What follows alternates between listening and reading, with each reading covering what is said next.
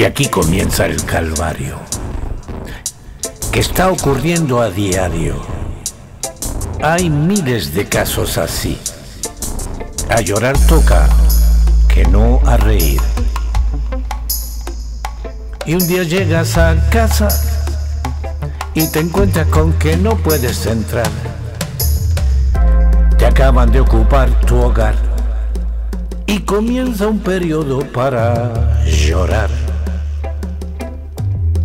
Te vas a la policía y te dicen que los ocupantes dicen que es su casa, que tiene factura de haber pagado algo para ese hogar, que para seguir el caso primero tienes que denunciar.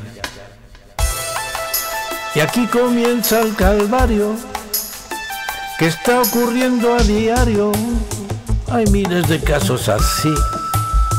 A llorar toca que no a reír.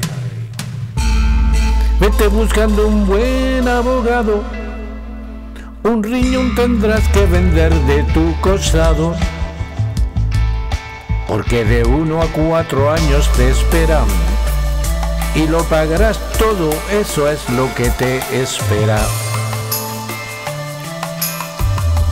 Y no se te ocurra no pagar. Te pueden llegar a embargar Tendrás que buscarte un nuevo domicilio.